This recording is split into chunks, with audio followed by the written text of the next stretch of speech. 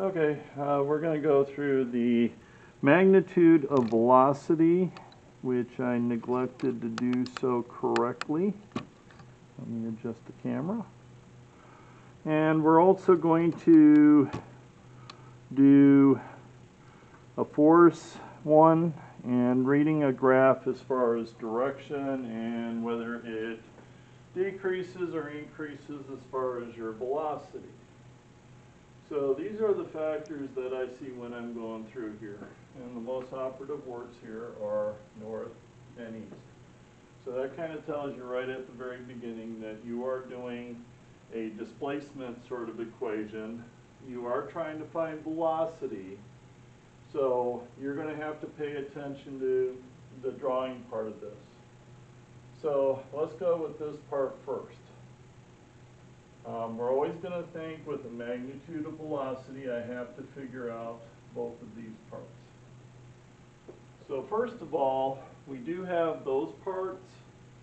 We're just going to have to figure out the other distance part. So let's say I'm going in this direction and I'm going 400 meters total distance at 18 meters per second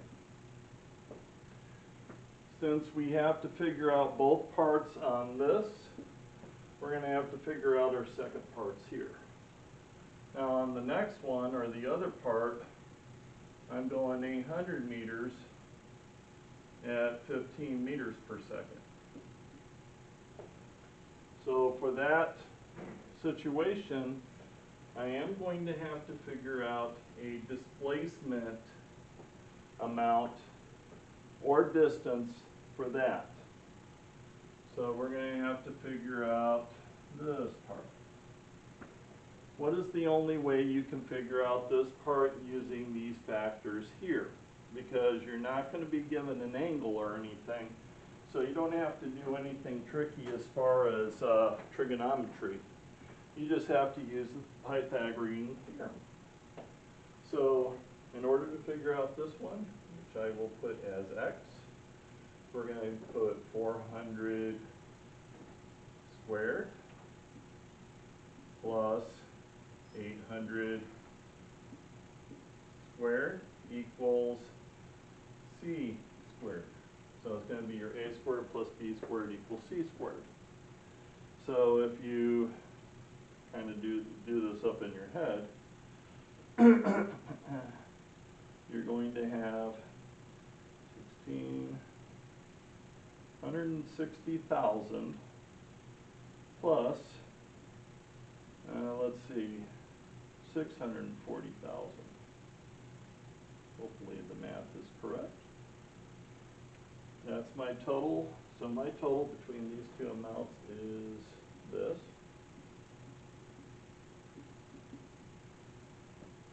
Then I just have to take the square root in order to solve for C. So it's eight hundred thousand.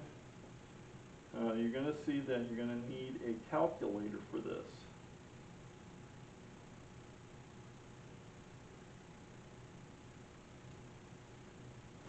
So this is be hundred ninety-four point five feet, and I'm just gonna round it. In most cases, it'll work out pretty well. So that's gonna be my distance, which is in meters. So that's going to be the displacement. Now I have to solve for my meters per second. Well, first of all, I'm going to have to have my seconds. So I got to get my number down here. So, well, how many seconds is this? Well, if I'm doing this at this, we know that we have to take these two values and actually divide to figure out my number of uh, seconds. Because we do need to know the time. So we'll go 22.2 seconds here. And uh, this one's going to be 53.3 seconds. So what is the total elapsed time going from here to here? That amount. So it's fifty-three point three plus twenty-two point two. my total is seventy-five point five seconds. And then I divide eight hundred ninety-four point five divided by seventy-five point five, and you end up with eleven point eight five meters per second. Um, it is gonna be a shorter amount, or a shorter velocity, because you have to take into account this and this. That would be my magnitude of velocity for this situation here. Now let's change it out a little bit. We can switch it around a little bit and it'll be the same magnitude of velocity, but now we can put in here seconds. So let's go fifteen thousand seconds. And let's go eighteen thousand seconds. I can do the same distances, or I can do a velocity, either one is fine. Let's go with the velocity. Let's, uh, get the numbers down a little bit. Those are kind of extreme, so we'll go four point five and eight point three meters per second. We have the same situation, you have to draw it out the same way. So we go like this, we go like this. We're traveling at four point five meters per second here, eight point three meters per second here. This is my east direction, that's my north direction. We go here, um, we do have a time component here now. So this one is gonna be fifteen thousand seconds. And this is gonna be, uh, eighteen thousand seconds.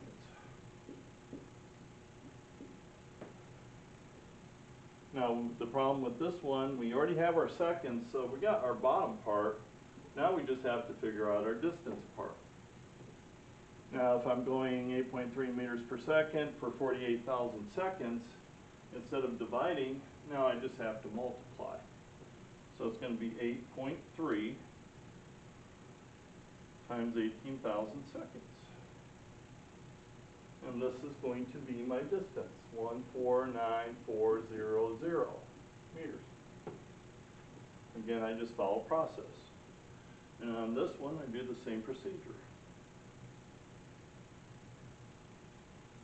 So it's not really a cut and dried thing, it's not really a percentage thing like, uh, you could do, and I made that mistake. But now I got my two numbers here. Now what I have to do, Pythagorean theorem, figure out my distance from here to here, which is my x in meters. So I got 67,500 squared plus this distance squared, and that equals c squared.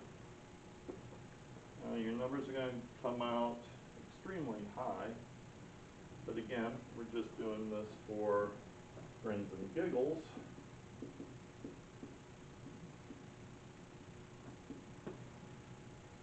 And again, purpose of the calculator.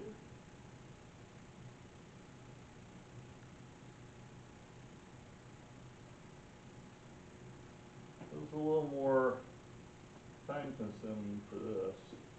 It gave me an exponent in this case. Apparently the number was too large. so now I have this. And then I'm going to add these two guys together. So I've got 4, 5,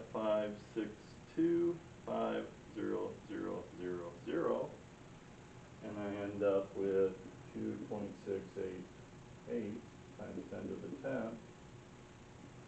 Now, most of the time we won't be dealing with this issue as far as uh, solving, and then again, I have to take the square root in order to get rid of that c squared. So I'm gonna go square root, two point six eight seven six six, exponent ten, again, following procedure. My distance here is gonna come out as one six three nine four one meters. Again, that's gonna be kind of your procedure for everything. Now I have the two factors I need. Here are my seconds, here are my seconds, here are my meters. All I have to do now is just simply divide. And I got this and this, so that's gonna be thirty-three thousand seconds. You're gonna see that it's kinda working out where it should be. The velocity will actually be less than these two values.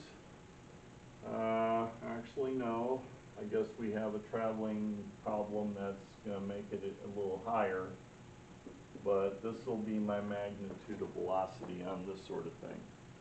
So again, you have to do a little thought process and maybe think that you got more steps than you have to do. So this takes care of this. I guess we can do a simplistic one. Should get a little easier as we're doing it. Let's say maybe now we're gonna do the distance, make it a little more straightforward. Let's say I have nine hundred meters north, eight hundred meters east.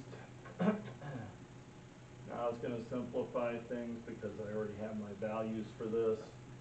I have my distance here, I have my distance here, east, north, starting point, ending point. Um, I do have to figure out this distance, it's nice because I already have these. Um, I don't really have to worry about the velocity between these because that's not gonna be relevant because this is what I'm trying to find. I can easily figure these out.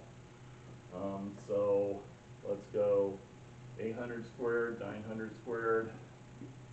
Again, Pythagorean theorem.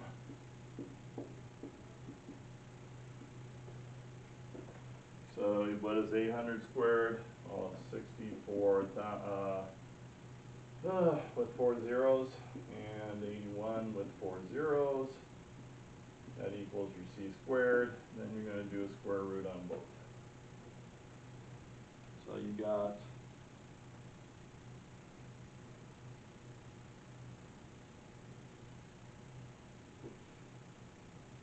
Looks like I went back one, one too many places. Six hundred forty thousand plus eight hundred and ten thousand, you get a total, then you have to do your square root. Uh, Square root. uh, Early morning. Uh.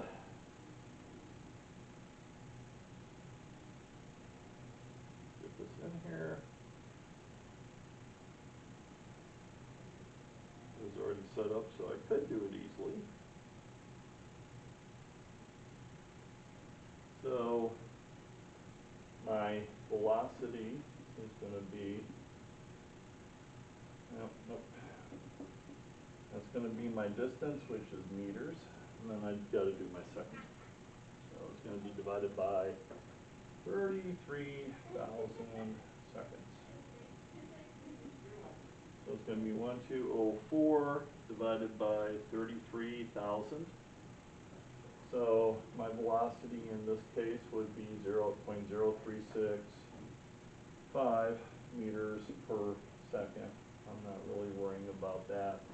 So that would be my magnitude of velocity here. Um, if you ran those numbers in, you'd find they might be a little bit slightly higher, uh, slightly lower, but again, I follow proper procedures in figuring out this type of question. That would be your magnitude of velocity.